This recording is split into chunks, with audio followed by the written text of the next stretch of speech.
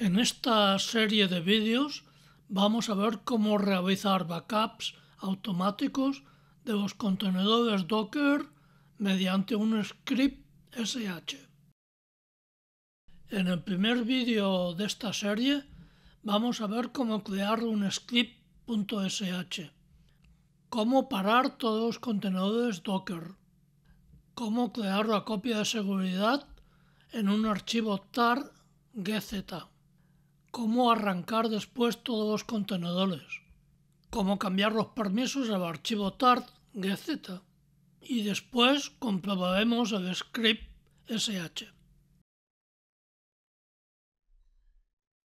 El VPS para realizar este vídeo ha sido cedido por GinerNet. GinerNet es un proveedor de hosting y de servidores en España. En la descripción está el link GinerNet y tienes también un código promocional de descuento. Gracias.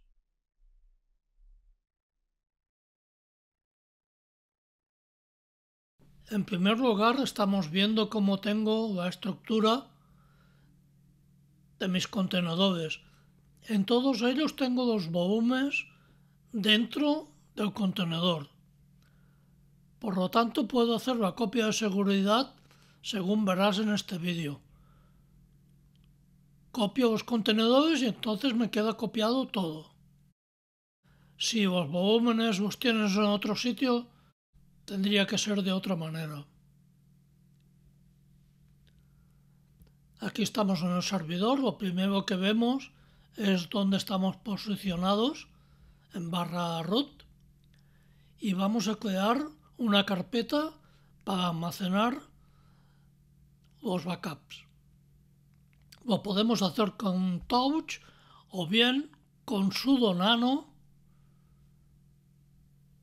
que nos lo crearía si no existe. Eliminamos lo que hemos hecho. sudo nano backup docker .sh y si no existe el archivo lo crea. Si eres root no hace falta que pongas lo de sudo, ¿eh? Bien. Perfecto, entramos dentro y voy a copiar aquí todas las líneas. Debes encabezar siempre eh, los scripts con esta línea. Y a partir de aquí ya podemos poner los comandos del script. Lo primero que vamos a hacer es crear una variable que es donde se va a almacenar la fecha. Que la fecha será año, mes y día.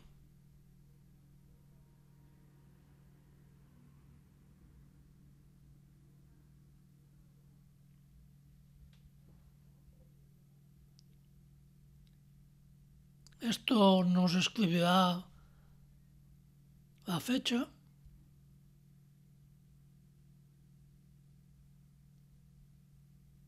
Perfecto.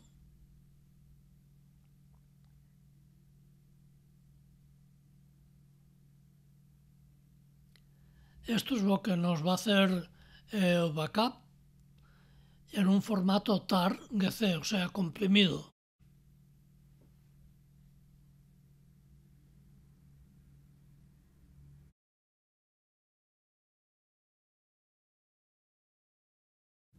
Esto vamos a hacer dentro de cd root.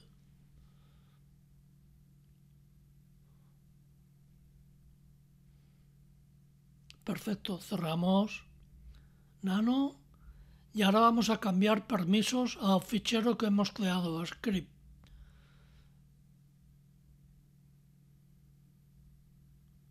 Vamos a dar permisos de ejecución y ponemos la ruta.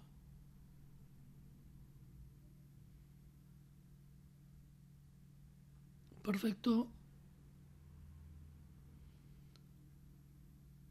Ahí lo tenemos.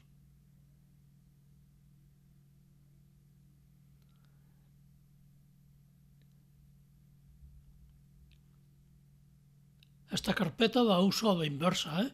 para copiar de otro VPS a este.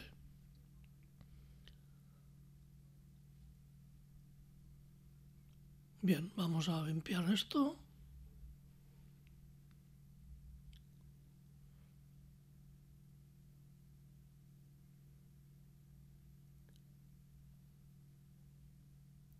Y aquí estamos viendo los dockers que tenemos en marcha. Bueno, estamos viendo todos los dockers. hay tres en marcha y uno pausado. Entonces, para hacer la copia de seguridad, o mejor se veía que estuvieran todos parados para no perder ningún dato.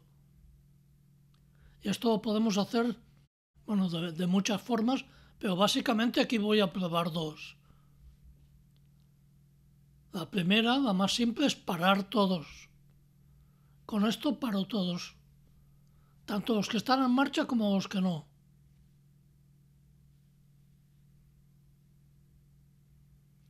Y me da aquí la ID de cada uno. Tengo cuatro, me da cuatro IDs. Perfecto, ahora están parados. Ahí lo estás viendo, están todos parados.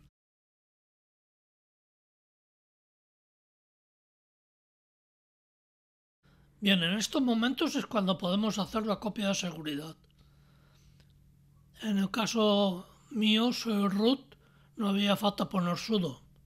Pero bueno, no pasa nada, ¿eh?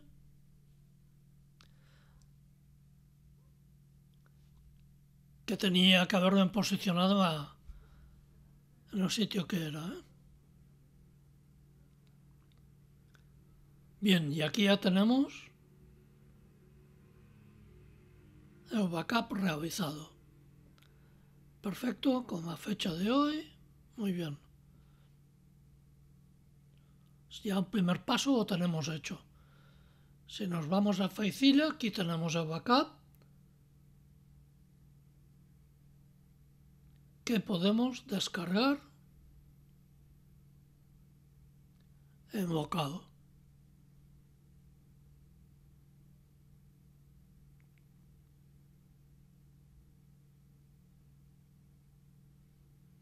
Y ahora podríamos ponemos otra vez todos los contenedores en marcha. Pero aquí ahora estamos viendo una cosa. Se han puesto todos en marcha, incluso que estaba pausado.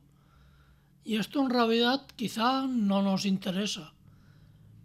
Entonces hay otra forma de hacerlo.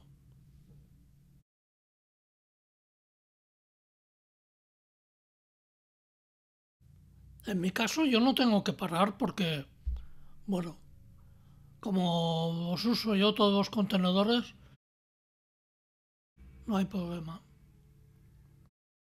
Vamos a pausar uno, cualquiera de ellos. Ahí tenemos uno pausado. Perfecto. Y ahora para que no nos toque que está pausado, podemos hacer decirle que nos pare todos los que están en marcha. Se había filtrando status running y nos pararía solo los que están en marcha.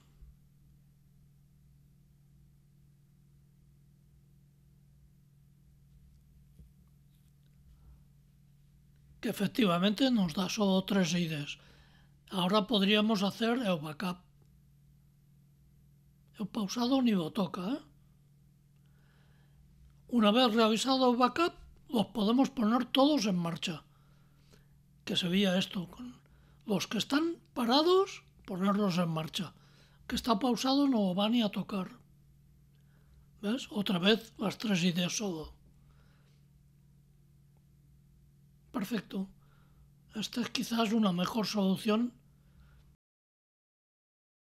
En el segundo vídeo de esta serie vamos a ver cómo crear una carpeta en el VPS de destino para guardar los backups.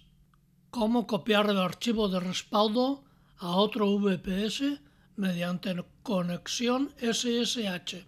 Y cómo eliminar el archivo de respaldo en el VPS de origen. Si te ha gustado el vídeo, por favor comparte, dale like y suscríbete. Saludos.